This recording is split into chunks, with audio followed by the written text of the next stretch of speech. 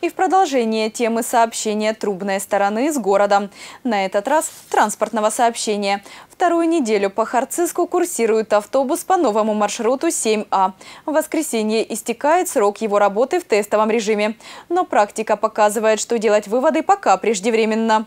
На остановках общественного транспорта харцизян, ожидающих именно «семерку», с каждым днем все больше. Некоторые наблюдения нашей съемочной группы по этому поводу в следующем сюжете. Автобус, следующий по новому для Харциска кольцевому маршруту 7А, делает остановку между рейсами напротив здания санстанции. Отсюда он стартует и здесь же финиширует. В 9.30 салон заполнен лишь на треть. На работу удобнее. Как раз преуспеваю, приезжаю. На Черемушке хорошо ехать. Не, не надо ехать 40 минут по всему городу. 10 минут там. Меня устраивает. Когда мне нужно на Черемушке быстро попасть, я пользуюсь этим рейсом. А я здесь вот рядом живу, увидела, с балкона ходит автобус. Ну, примерно время присмотрелась. Ну, сейчас в сторону города, через Черемушки, сейчас мне надо к дочке, и туда поеду. Удобно.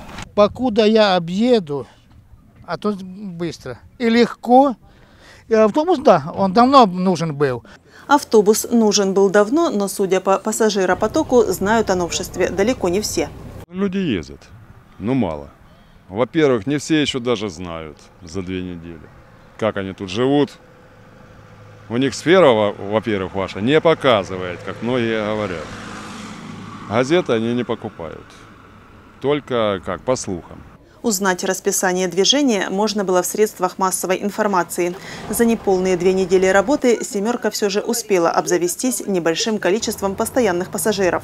Второй утренний рейс автобуса 7А самый востребованный. В 7.10 харцизяне спешат кто на работу, кто на учебу, кто с малышней в детский сад. Весьма популярен и социальный рейс. Льготный. На 8.25 вот отсюда отправление. Но пенсионеры пользуются старается как-то на это время выходить. Ну и так попутно, платники тоже. Но оно же как бы время, 8.25, кому-то ну как, на работу. На 7.10 вот неплохой рейс. Хуже в обед. Вот надо пол первого как-то слабый рейс, слабоватый. Ну а так в течение дня нормально. Водитель Павел Никулин считает, что график следовало бы откорректировать, чтобы исключить накладки с другим общественным транспортом и большие перерывы между рейсами. Может где-то переставить что-то там, сократить, от тех отодвинуть. Ну, я думаю, пошел бы. Может, завод заработает, может, люди еще добавятся.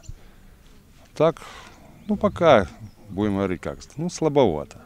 Заведующий сектором по работе транспорта администрации Харциска Роман Маргун сообщил, что мониторинг пассажиропотока будет продолжен, так что тест «семерки» на востребованность еще не окончен.